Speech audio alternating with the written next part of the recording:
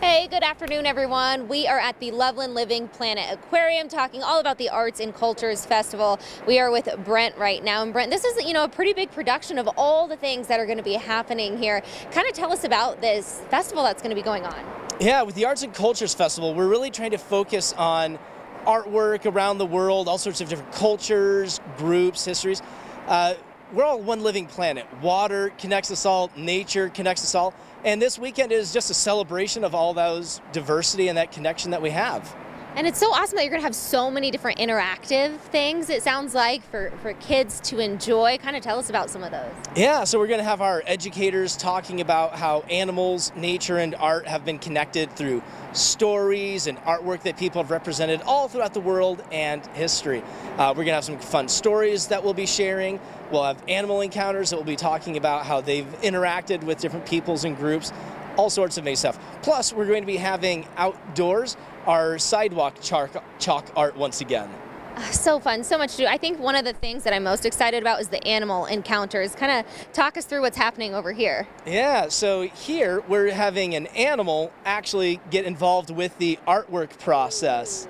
So this is look at her go. Yeah, this is Star Lord, one of our uh, geckos, and We've got some nice little artwork here with some non-toxic paint that we're getting.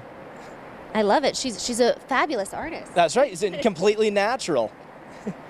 So this is just one of the things, but you have, I know you have the snakes that come out and the kids can be interactive with that. So yeah. lots of things. Like snakes, lizards, uh, some tortoises, all sorts of amazing animals. And then I know we have uh, lots of uh, uh groups that are going to be performing like this group here. Can you tell us about that? Yeah, so we're going to be having different performing groups coming, especially on the weekends.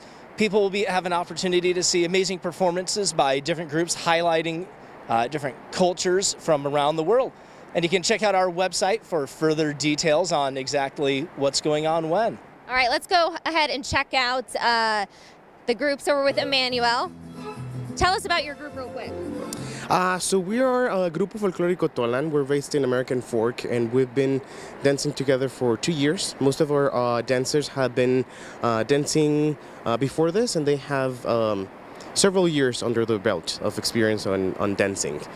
Well, I've been watching you guys practice all morning, and you are fantastic. So I'm going to step aside and kind of let you guys show us what you can do. So take it away for us.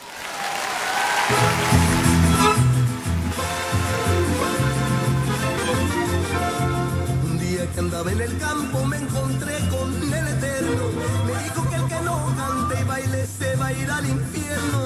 Como yo se ve el profundo suelo ver la realidad. Veo dar vueltas a este mundo y muy triste a la humanidad. Sufre, pide y llora, porque está perdida. No sabe de dónde viene, quién es y a dónde va. Marmolejo, Vargas y Villa le dijeron algo en Dios. Vamos a hacer un mariachi del cual